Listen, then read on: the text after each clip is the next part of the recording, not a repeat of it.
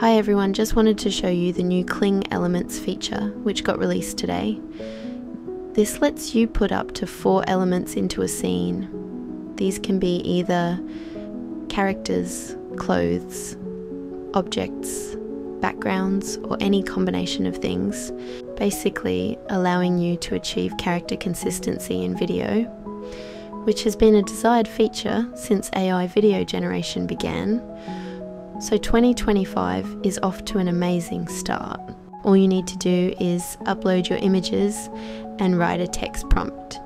A quick tip though, the image selection size has to be in either 5 by 4 or 4 by 5 resolution, which is for instance 1440 width by 1152 height.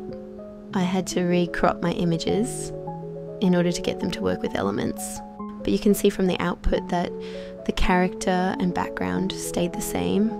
The sword is a little bit different, but it may have had trouble with the lighting of it in my original picture. We can also have two characters in the same scene. For instance, if we take the same woman and add in this man, then get them to hug, you can see it's able to put both characters in the scene. I noticed in this one that it didn't follow my background, but I didn't specify the background in my prompt, so you may just have to play around with it to get exactly what you want. If we have a read through the guide, the Elements feature is now available with the Kling AI 1.6 model for image to video generation. Upload 1 to 4 images, select the subjects, people, animals, objects, or scenes in the images as elements, and describe their actions and interactions. Then we have an image of the Elements feature Interestingly, there's another feature here called Effects, which we don't have access to at the moment. Scrolling down, we've got a bit more info covering some of the things you can add to the scene, such as multiple characters and clothing. Then we've got some examples here. On this one, we've got a woman, a crystal crown, and a stage, which gives this output. I think the crown looks kind of big, but there was no reference for scale in the original image. The next one shows a cat, a leather jacket, and some sunglasses, which gives this output, which looks pretty good.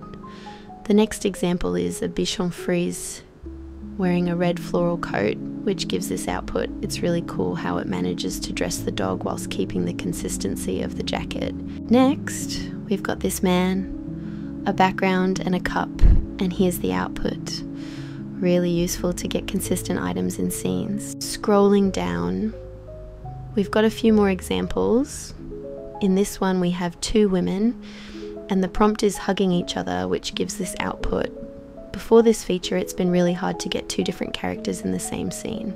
Then we've got this boy and a Pegasus, which gives this output. It's great to see elements work with more than just humans. And here we've got a cartoon man and a bear, showing it working with different styles too. I'm really looking forward to using this new tool and seeing what everyone makes with it.